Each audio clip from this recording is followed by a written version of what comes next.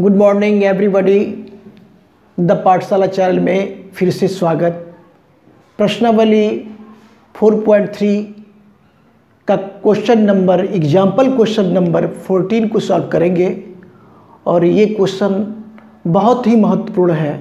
प्रायः ये परीक्षा में एग्ज़ाम में पूछा ही जाता है। और इधर बोर्ड वाली परीक्षा होने भी, होने वाली भी है। तो ये क्वेश्चन बोर्ड वाले विद्यार्थियों के लिए ख़ास तौर से एग्ज़ाम देने वाले विद्यार्थियों के लिए बहुत ही महत्वपूर्ण है। तो इस क्वेश्चन को आज बताएँगे। और इसमें भी मूल निकालना है और मूल निकालने की बात तो पिछले वाले वीडियो में बहुत बहुत सवाल को आप लोगों को बताए हैं। तो बेसिक कंसेप्ट तो आपको बन ही गया होगा। तो स्टार्ट करते हैं आज। सबसे पहले देखिए, हम निम्न समीकरणों के मूल ज्ञात कीजिए। पहला क्वेश्चन दिया, पहला में है x plus one by x बराबर का थ्री दिया।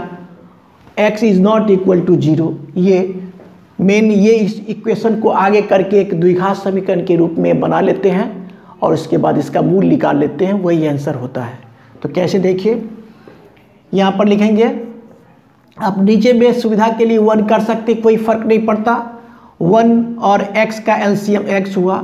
एक्स से लगाएँगे तो एक्स आया और वन से एक्स और फिर एक्स में एक्स से गुना करेंगे तो एक्स स्क्वायर प्लस अब इससे भाग लगाएँगे तो ये कट जाएगा तो प्लस का वन बराबर का थ्री हो जाएगा। यहाँ तक स्पष्ट है? अब क्या करेंगे? क्रॉस मल्टीप्लीकेशन कर लेंगे ऐसे ऐसे और ऐसे ऐसे। ऐसे ऐसे करेंगे तो नीचे में यहाँ भी आप वन कर सकते हैं। तो ऐसे करेंगे तो क्या आ गया? वन से गुना करेंगे तो यही यही आ जाएगा ना? एक स्क्वायर प्लस वन बराबर का ऐसे ऐसे करेंगे या फिर क्रॉस मल्टीप्लीकेशन तो थ्री एक्स हो गया। ठीक है? अब क्या करेंगे? एक्स स्क्वायर और ये प्लस का है, इधर ले आइए तो माइनस का थ्री एक्स हो जाएगा प्लस का वन तो है ही, बराबर ज़ीरो अब क्या हो गया? ये आपका द्विघात समीकरण के रूप में मिल गया। तो इसमें क्या करेंगे? पहले डी निकालेंगे और डी निकालने के लिए ए बी सी लिखेंगे पहले। तो ए बराबर एक्स स्क्वायर का गुणांक हो गया एक। बी बराबर कितना हो गया? एक्स का गुणांक देखेंगे माइनस थ्री और सी बराबर तो हो गया वन जो कि कांस्टेंट टर्म होता है। ठीक है? ये निकल गया। अब डी निकाल लेते हैं। डी बराबर क्या फॉर्मूला डी बराबर फॉर्मूला क्या होता है? B square minus four A C लिख लेते हैं B square minus four A C B का मान देखिए कितना? माइनस का थ्री तो माइनस का थ्री कर लेंगे। ठीक है? अब माइनस फोर गुना ए का मान देखिए। वन तो वन लिख दिए। और सी का भी मान वन ठीक है यहाँ तक? अब क्या हो जाएगा? तीन तिया, नौ हो जाएगा घटा चार। बराबर का कितना आ गया? फाइव। अब देखिए, फाइव जो निकला, धनात्मक मान निकल गया। क्या निकला? धनात्मक धनात्मक मान जब निकलता है तो मूल अस्तित्व में होता है। धनात्मक मान निकलता है तो क्या होता है कि मूल अस्तित्व में होता है। लिखेंगे, इसका प्रयोग करेंगे, चूँकि d is greater than zero अतः अतः मूल क्या है? अस्तित्व में है। मूल अस्तित्व में है। यहाँ तक तो देखिए एक बार। अब हम स्पेस बना लेते हैं। यहाँ से स्पेस बना लेते हैं। ठीक है? अब देखिए, यहाँ पर मूल अस्तित्व में हो गया तो मूल मूल निकाल लेना है, केवल। कैसे निकालेंगे? मूल मूल बराबर क्या फॉर्मूला होता है? मूल बराबर minus B plus minus root D by root D by two ये फॉर्मूला होता है। मान को रखेंगे, b का मान देखिए, b का मान कितना? माइनस का थ्री यहाँ भी माइनस है तो माइनस माइनस प्लस हो जाएगा। तो केवल यहाँ पर आएगा थ्री अब प्लस माइनस रूट डी का मान कितना? रूट डी का मान निकाले फाइव तो फाइव लिख देंगे। बाई टू इंटू ए का मान फिर चेक करिए, एक है तो एक लिख देंगे। बराबर के कितना हो गया? Three plus minus root five अब बाई टू अब क्या करेंगे? अल्फ़ा में प्लस वाला लिखेंगे और बीटा में माइनस का लिखेंगे। तो अल्फ़ा बराबर कितना हो गया? थ्री प्लस का लेंगे। Plus root five by two एक मान निकला। और बीटा का मान लिख लेंगे थ्री माइनस रूट फाइव बट्टा टू। बीटा बराबर हो गया। तो आपका ये दोनों आंसर हो गया। जब आप d का मान, जब d का मान आप, का निकलेगा धनात्मक मान तो मूल अस्तित्व में होगा, लेकिन दोनों मूल अलग अलग होगा। देखिए, ये अलग है, ये अलग है। ठीक है? अब हम दूसरा सवाल को सॉल्व करेंगे। इसी का चौदह का दूसरा। दूसरा सवाल में दिया one by x minus one बट्टा एक्स माइनस टू बराबर का थ्री दिया है। देखिए एक बार। अब ये भी वैसा ही सेम ऐसा ही है। और बहुत ही महत्वपूर्ण सवाल है। इस सवाल को प्रायः परीक्षा में पूछे ही जाते हैं। इस, इसलिए गौर से देखिए और मेरे वीडियो को शुरू से अंत तक देखें तो आपको बेसिक कंसेप्ट मिलेगा। अगर मेरा वीडियो अच्छा लगे तो लाइक शेयर और सब्सक्राइब भी कीजिए। तो देखिए यहाँ पर क्या होगा कि यहाँ पर लघुत्तम हो गया x into x minus two अब इससे भाग लगाइए तो ये कटेगा तो ये आएगा। तो लिख देंगे x माइनस टू माइनस का चिन्ह है तो माइनस का चिन्ह लिखेंगे। और फिर देखिए x माइनस टू से भाग लगाएँगे तो ये कटेगा तो ये आएगा। x में वन से गुना करेंगे तो x ही आएगा। बराबर का थ्री यहाँ तक स्पष्ट। अब देखिए, ये प्लस का एक्स है, ये माइनस का है तो कटेगा। तो ऊपर में कितना आया? ऊपर में आ गया आपको माइनस दो। अब बट्टा में नीचे में इसको हम गुना कर लेते हैं कि बार एक्स में एक्स स्क्वायर अब माइनस का टू एक्स बराबर का थ्री यहाँ तक एक बार देखिए। अब हम ऊपर स्पेस बना लेते हैं। अब देखिए, ऐसे आप क्या करेंगे? यहाँ भी आप ऐसे ऐसे गुना करेंगे। क्रॉस मल्टीप्लिकेशन ऐसे और ऐसे। ऐसे नहीं, कुछ मतलब एक है। तो इसमें थ्री से गुना कर लेना है पहले।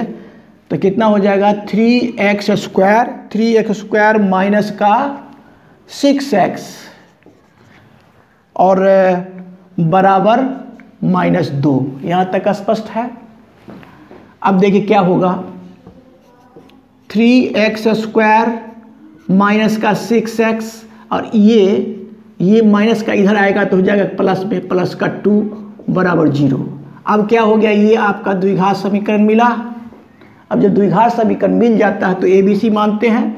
ए बराबर आपका हो गया थ्री एक्स स्क्वायर का गुणक लिखिए गुणांक लिखिए बी बराबर सिक्स वो माइनस का सिक्स होगा जो कि एक्स का गुणांक लिखिए और सी बराबर तो हो गया आपका टू डी निकाल लेना। है विवेचक जिसको बोलते हैं तो डी का फॉर्मूला होता है B square minus four A C B का मान देखिए बी का मान कितना? माइनस सिक्स तो माइनस सिक्स का स्क्वायर कर लेंगे, ठीक है? आ गुना फोर गुना ए का मान थ्री आ गुना सी का मान दो, ठीक है? अब करेंगे छछा एक, छत्तीस हो जाएगा माइनस गुने माइनस तो प्लस ही होगा। तो चार तिया बारह बारह दुना चौबीस चौबीस घट जाएगा।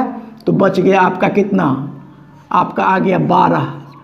अब डी का मान यहाँ भी क्या निकल गया? धनात्मक मान। धनात्मक मान निकल गया ना? और जब धनात्मक मान निकलेगा तो क्या चीज़ का प्रयोग होगा? डी में D is greater than zero zero से बड़ा है डी का मान ज़ीरो से बड़ा है ना? D is greater than zero अतः अतः क्या होगा? मूल अस्तित्व में होगा। मूल क्या होगा? अस्तित्व में होगा। जब मूल अस्तित्व में होगा तो हम मूल निकालेंगे ना? तो मूल निकालेंगे। तो मूल बराबर क्या होता है फॉर्मूला मूल बराबर फॉर्मूला होता है minus B plus minus root D बट्टा टू ए ये मूल बराबर, ठीक है ना? अब मान रखें मान रखेंगे तो b का मान देखिए। B का मान देखिए, माइनस का सिक्स है और यहाँ भी माइनस है। तो कितना आ जाएगा? माइनस गुने माइनस पल से हो जाएगा तो छः हो जाएगा। छः six plus minus root D का मान निकाल बारह तो बारह लिख देंगे। बट्टा दो गुना ए का मान देखिए। ए का मान थ्री है तो थ्री लिख देंगे। यहाँ तक एक बार देखिए। ठीक है? अब हम यहाँ से लिखते हैं स्पेस बना लेते हैं। इतना स्पेस हो सके बनाते जाते हैं और इसी स्पेस में हमको सॉल्व कर देना है। देखिए यहाँ पर सिक्स प्लस माइनस ये रूट बारह जो है निकलेगा आपको टू रूट थ्री निकलेगा। टू टू रूट थ्री निकलेगा आपको। भीतर जाएगा ये रूट के भीतर तो दो गुने दो। क्या हो जाएगा? दो गुने दो, गुने तीन तो चार तिया बारह हो गया। रूट में जा रूट से बाहर रूट से बाहर करते हैं तो दो पर करते हैं। रूट के अंदर जाएगा तो दो गुने दो हो जाएगा। ठीक है ना? बाहर, भीतर में जाएगा रूट के भीतर तो क्या होगा? दो गुने दो। बाहर निकालेंगे तो एक निकल गया। ठीक है? तो या रूट ट्वेल्व को हम लिख दिए टू रूट थ्री। अब बाई कितना? सिक्स। यहाँ तक स्पष्ट है। अब देखिए यहाँ पर यहाँ पर आप दो ऊपर में दो कॉमन ले सकते हैं। दो कॉमन लेंगे तो यहाँ पर कितना है दो तिया छः प्लस माइनस दो तो कॉमन ही लिया गया। तो कितना आ गया? थ्री बाई कितना? सिक्स यहाँ तक स्पष्ट है? अब इसको काट सकते दो इकाई दो तिया छः दो से दो तिया छः कट गया ना? तो एक से यह कटा। और दो तिया छः कट गया तो कितना आ गया आपको? आ गया three plus minus root three बट्टा थ्री ये निकल के आया। है अब इसमें क्या करेंगे? एक बार अल्फ़ा का मान प्लस वाला ले लेंगे और एक बार बीटा का मान क्या ले लेंगे? बीटा का मान माइनस का लेंगे। अल्फ़ा का मान क्या लेंगे? अल्फ़ा बराबर हो जाएगा थ्री थ्री ठीक से लिख देते हैं। Three plus root three by three. Alpha का मान हो गया, ठीक है? बीटा का मान क्या होगा?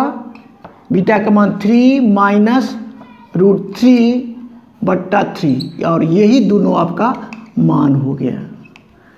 गौर करने की बात है कि इसमें हम देखें कि डी का मान धनात्मक निकला तो मूल अस्तित्व में हुआ, लेकिन मूल क्या होगा? असमान होगा अलग अलग होगा, जो कि यहाँ दिखाया गया।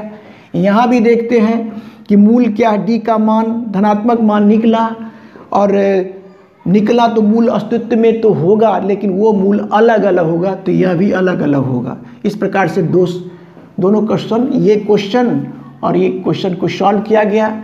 मेरा वीडियो अच्छा लगे तो लाइक शेयर और सब्सक्राइब कीजिए। Thank you take care